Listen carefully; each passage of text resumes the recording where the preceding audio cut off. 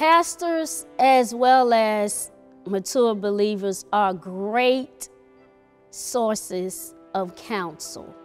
Yet, we should not forget the best source of counsel, and that is God, our Heavenly Father.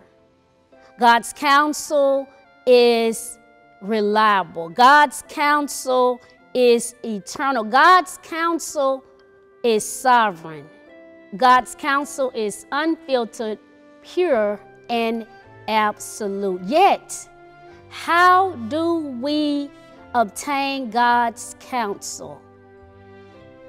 Through prayer, through seeking God's face to understand God's plan and God's will for our lives.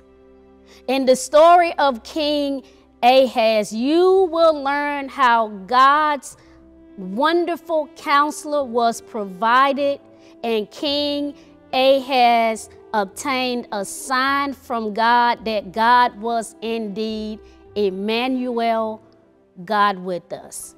So enjoy this study as you will become more acquainted to the counsel of God.